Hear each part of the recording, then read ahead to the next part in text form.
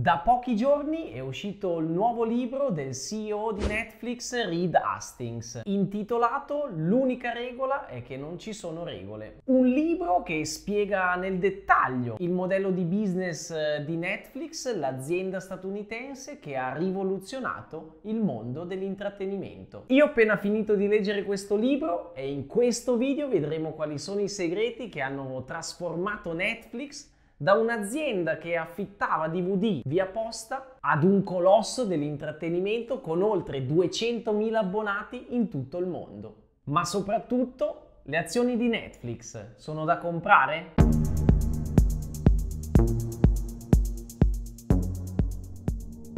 L'unica regola è che non ci sono regole. Oltre ad essere il titolo del libro, questo è il mantra che caratterizza l'organizzazione di Netflix. Il libro parte spiegando che il modello lavorativo delle 8 ore adottato da praticamente la maggior parte delle aziende di tutto il mondo è un modello obsoleto, in quanto retaggio di un'epoca in cui i lavoratori svolgevano compiti che oggi sono stati sostituiti dalle macchine. In Netflix, per esempio, non ci sono vacanze. No, aspettate, non significa che i dipendenti Netflix non possano andare in vacanza, è proprio il contrario. Possono andare in vacanza quanto gli pare senza che ci siano particolari vincoli o controlli. Spesso capita che un collaboratore lavori la sera o risponda alle mail nel weekend, visto che nessuno controlla quante ore in più un collaboratore lavora, perché controllare quante vacanze fa? In Netflix non ci sono politiche relative alle spese aziendali aziendali. L'azienda si fonda sul principio Act in Netflix Interest, ovvero se lo stai facendo per il bene e negli interessi di Netflix, puoi spendere quanto ti pare. Un altro punto saliente di questa organizzazione è che ogni collaboratore può, anzi deve, dire la sua opinione, anche qualora vada contro quella di un suo superiore. È tra i vari compiti dei manager e dei team leader stimolare questa cultura, insegnando ai collaboratori a comunicare tra di loro senza urtare la sensibilità degli altri. Una pratica, questa della critica costruttiva, che si riassume in una vera e propria lezione per i manager. In Netflix il compito di un manager è quello di ispirare, non guidare. Questo tipo di approccio, se utilizzato bene, secondo Hastings, crea un ambiente positivo, un ambiente creativo, che automaticamente diventa una fucina di nuove idee e progetti. Un altro punto essenziale nella cultura Netflix è che non devono esserci segreti. Tutti i dati aziendali, dal numero di iscritti in tempo reale ai progetti futuri, sono a disposizione di ognuno dei 9.000 dipendenti. Un qualcosa che farebbe rabbrividire qualsiasi multinazionale che vedrebbe il loro vantaggio competitivo rispetto ai competitor compromesso. Anche le riunioni non vengono mai fatte a porte chiuse. Secondo Hastings, se lavori per Netflix devi sapere